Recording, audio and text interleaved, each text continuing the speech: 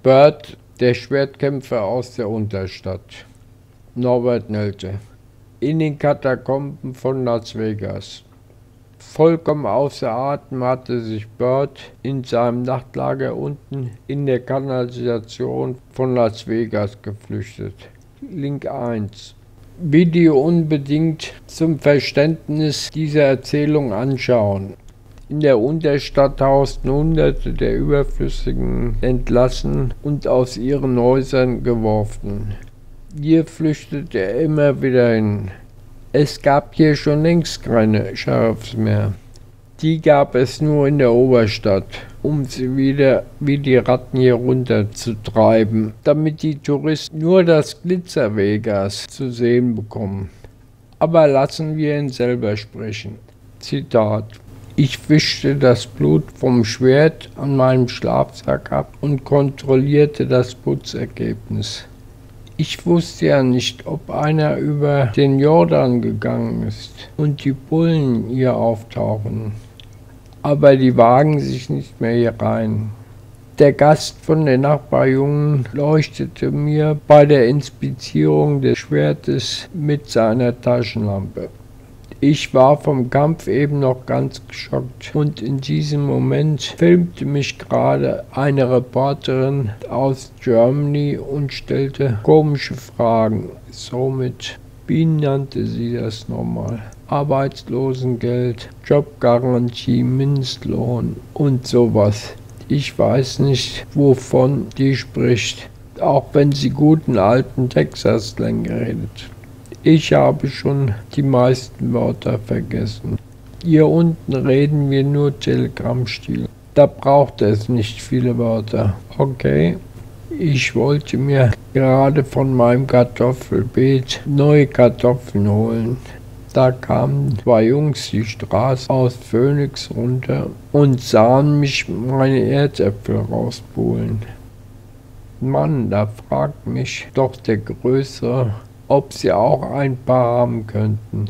Sie hätten schon seit Tagen außer Regenwürmer und Ameisen nichts mehr gegessen. Das letzte anständige Dinner war eine Ratte, die uns in unserem Tunnelblock in Phoenix nachts über die Bäuche lief. Link 2. Sorry, erwiderte ich.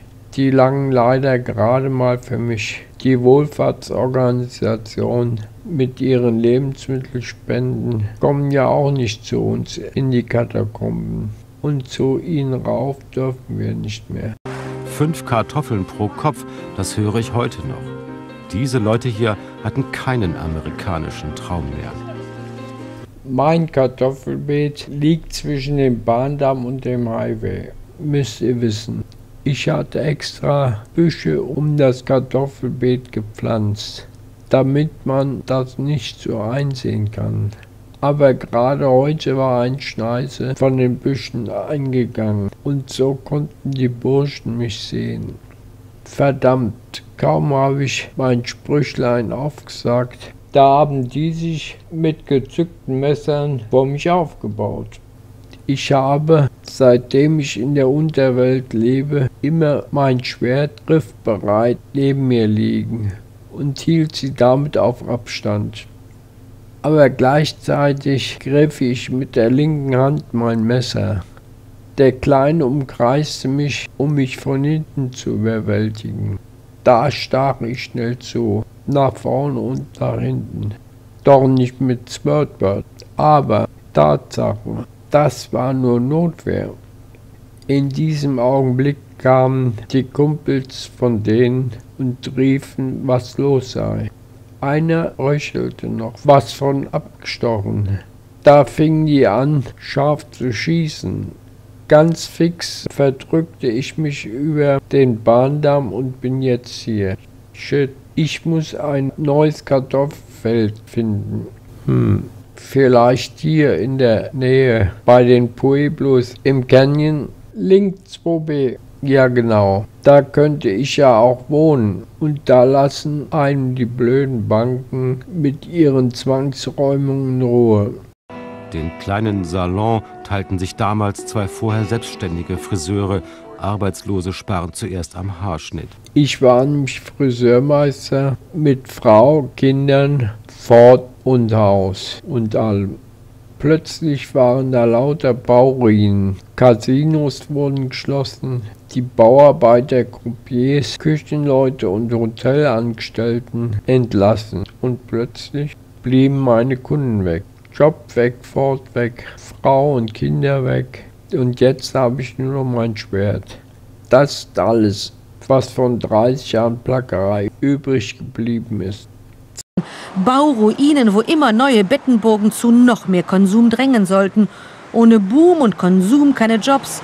Die Bauindustrie war immer ein Motor. Zwölf Millionen Familien sind schon aus ihren Häusern geworfen worden. Ein Sheriff überwacht die Zwangsräumung eines Hauses. Die Immobilienkrise macht alles noch schlimmer in Obamas Amerika. Immer mehr Hausbesitzer können ihre Hypotheken nicht mehr bezahlen, die Hauspreise sind abgestürzt. Die Bauindustrie liegt am Boden, noch weniger Jobs. Geräumt wird oft Wochen nach Zahlungsverzug. Kreditkarte ausgereizt, Billigjob verloren, obdachlos. Mieterschutz ist ein Fremdwort. Sie wohnen in den Autos, im Zelt, in den Cities. Link 3 oder im Wald, unter der Brücke, Link 4, in der U-Bahn, in Fußgängerzonen oder wie wir in der Kanalisation. Das ist schon fast Luxus gegenüber allen anderen. Link 3. Wer keinen Schlafplatz auf der Couch bei Freunden findet, landet schnell auf der Straße in Amerika. Doch selbst da wird geräumt. Zwar freundlich, aber mit Nachdruck. Diese Bilder haben wir in Portland, Oregon gefilmt. Oh, ich kenne ihre Situation nicht, aber ich glaube, das kann jedem passieren. Auch sie wird sich einen versteckten Schlafplatz suchen müssen. Wie viele landesweit obdachlos sind, weiß niemand genau. Doppelt so viele seit der Krise, schätzt diese Polizistin.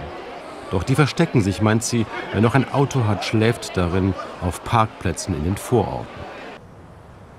Medford, Oregon. Hier hatten wir Matt und Clinton gefunden, zwei obdachlose Jugendliche. Matt war neu in der Stadt, seine Familie lebt im Nachbarstaat. Ich unterhalte mich noch mit den jungen Leuten links neben mir. Mein Großvater wanderte 1926 aus Irland ein.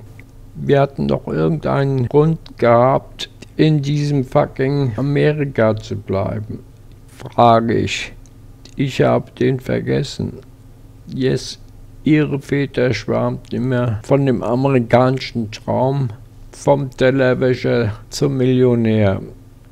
Aber jetzt sind sie auch von der Deutschen Bank aus ihrem Doppelhaus rausgeschmissen worden. Und die ganze Familie wurde in alle Winde zerstreut. Da meldet sich Donald, der mit den Stars and Stripes über seiner Luftmatratze rechts von mir zu Wort. Zitat. Nein, sagt er. Natürlich denke ich positiv es wird in Amerika wieder aufwärts gehen. Daran glaube ich. Zitat Ende. Der war früher Präsident der Abwicklungsgesellschaft NCL. Da muss er so eine gequirlte Scheiße reden. Einfügung, entschuldigt bitte Bürz, Fäkalsprache aber die sprechen in der Unterstadt alle so. Egal ob früher Rechtsanwalt oder von der Müllabfuhr. Einfügung zu Ende. Plötzlich hatte keiner mehr Geld. Auch für die Auflösung der Pleitefirmen nicht mehr. Und dann lief alles bei ihm wie bei mir. Job weg, Cadillac weg, Haus weg, Frau und Kinder weg. Und jetzt hat er nur noch die Stars and Stripes und die Luftmatratze. Aber ich bitte dich, Don, wer glaubt denn noch heute auf den Aufschwung, wenn man ganz unten ist? In Amerika, in Europa, überall geht es abwärts, machen die Riesenschulden. In China machen die Regionen Schulden. Und eine Inflation von 6%. in Indien 10%, Vietnam 22%, in Brasilien Inflation. Japan hat sowieso schon aufgegeben.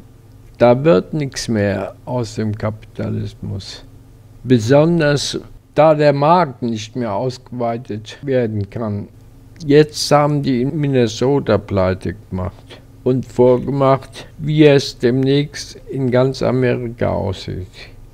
Hier, ich habe den Schnipsel extra aufgehoben. Link 5. Zitat. Seit dem 1. Juli ist die Regierung in St. Paul nicht mehr zahlungsfähig. Im Haushalt klafft ein Loch von 1,4 Milliarden Dollar. Zahlreiche Behörden sind seitdem geschlossen. Zwei Drittel der Beamten wurden in unbezahlten Zwangsurlaub geschickt.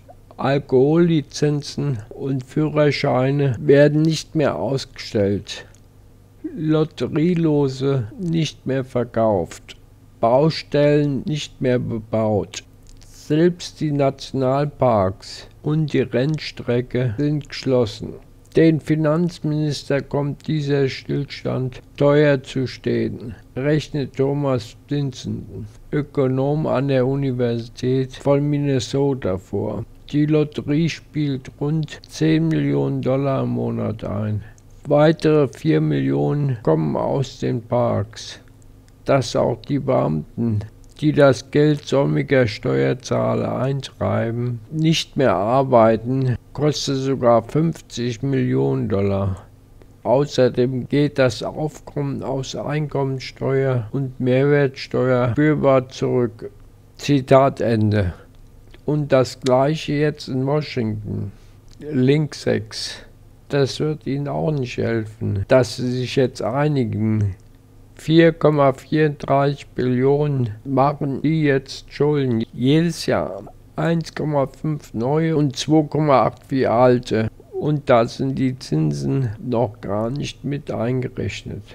Im August fallen schon wieder Kreditausläufe von 500 Milliarden an, die dann zurückbezahlt werden müssen. Da sind die 2,5 Billionen Schuldenausweitung zum Jahreswechsel wieder weg dann fängt es wieder von neuem an mit dem Hickhack. Wir haben derzeit schon 103% Schulden vom BIP und in ein paar Jahren, wenn die zweite Kreditcharge ausläuft, kommt die dritte und dann muss Amerika schon 7 Billionen jährlich zahlen. 7 Billionen jährlich, ohne dass dem eine Wertschöpfung gegenübersteht. Heute schon kauft nur noch die Federal die US-Staatsanleihen und garantiert das mit unseren Pensionsfonds.